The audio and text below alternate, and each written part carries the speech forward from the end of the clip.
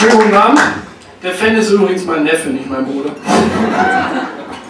Ja, ich möchte heute Abend die Gunst der Stunde nutzen, euch ein kleines Anekdötchen aus meinem Leben zu erzählen. Morgen ist ja Samstag und Samstage fangen bei mir damit an, dass ich im Bett liege und es an der Tür klingelt. Ich will euch nicht lange auf die Folter spannen, wer es sein könnte. Ihr kennt ja alle diese nervigen Klinkenputzer, die in aller Herkunftsfrühe an unsere Tür klingeln, um uns irgendwelche Sachen zu verticken oder uns irgendwelche Sachen aufzuschwatzen. Ja? Ich glaube ja auch, die werden irgendwo gezüchtet in so einem Labor. Da haben die die alle. Zeugen Jehovas, ja? GEZ-Angestellte oder Staubsaugervertreter vom Vorwerk. Ja? Oder die, die immer die Hauswände mit Graffitis vollschmieren, die Sternsinger.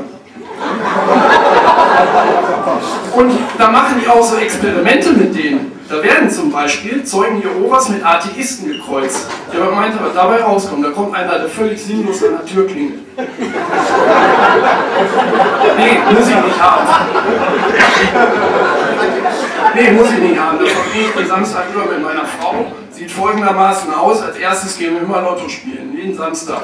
Komischerweise muss ich immer einen Ausweis zeigen, wenn ich Lotto spiele, weil mir keine Sau abnimmt, dass ich schon 33 bin.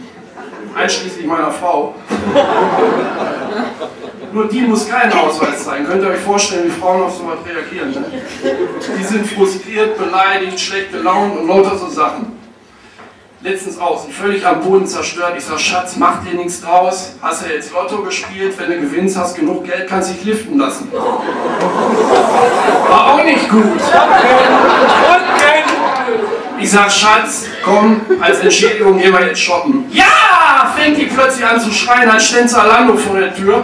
Shoppen, shoppen, kaufen, kaufen. Da sind die ja völlig apathisch, ne? Wir also in die Stadt, H&M, New Yorker, Esprit, Deichmann, C&A, Hunkemöller, Desigual, die ganze Palette, überall da, wo uns Männern so richtig wehtut. Aber da, aber da musst du durch als echter Kerl. Wir so rein in den H&M, halt mal meine Handtasche und dann auf die Kleider stellen, als gibt's keinen Morgen mehr. Was mir aufgefallen ist, Frauen teilen die Kleidung, die sie sich kaufen, in drei Kategorien auf. Nehme ich, nehme ich vielleicht und nehme ich doch nicht. Na jetzt los. Halt mal, Schatz, das nehme ich. Nehme ich, nehme ich, nehme ich. Nicht halt trotzdem. Du stehst dann da irgendwann voll bepackt wie so ein Packesel. Stummer Diener in der Schlafzimmerecke ist gar nichts dagegen.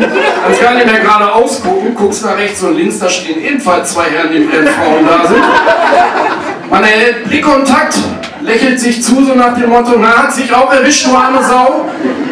Das ist schon immer lustig, man weiß genau, was bei denen gerade im Kopf abgeht, ne? weil die machen genau das gleiche durch wie du. Diese beiden Herren schauen auch permanent auf ihre Armbanduhr, völlig ungeduldig. Ist ja Samstagnachmittag, gleich halb vier. Ne? Naja, da klingelt's, ne? Bundesliga. Schaute natürlich auch ich auf meine Armbanduhr. Völlig apathisch, konzentriert, in der stillen Hoffnung, dass die Zeit vielleicht irgendwann mal stehen bleibt. Jedenfalls so lange, bis meine Frau mit dem Einkaufen fertig ist weil ich bloß den Anschluss nicht verpasse, aber leider vergebens. Während ich so auf meine Uhr starte, kam auch schon die alles entscheidende Frage von meiner Frau von links. Schatz, was meinst du? Das blaue oder das rote? Welches steht mir besser? Sag doch mal. Hm? Ja, böse Frage, genau. Ich hatte mich ja jetzt auf meine Uhr konzentriert. Ich hatte zwar gesehen, dass meine Frau die Lippen bewegt hatte, ja, aber zwei Dinge gleichzeitig ist für uns Männer immer ein bisschen schwierig.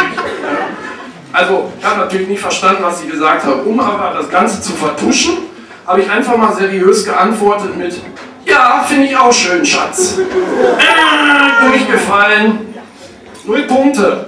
Ja, auf die Uhr konzentrieren, gleichzeitig der Frau zu hören, ist nicht. Das grenzt an Multitasking. Das Einzige, wo wir Männer Multitasking beherrschen, ist auf dem Klo. Wir können Zeitung lesen und gleichzeitig kacken, das ist aber auch schon alles.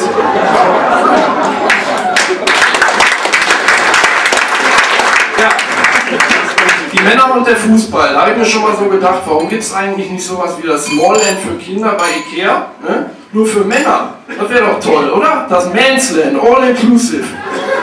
Wenn die Männer, äh, Frauen einkaufen gehen, gehen sie Männer vorne ab, die können in Ruhe einkaufen. Ja?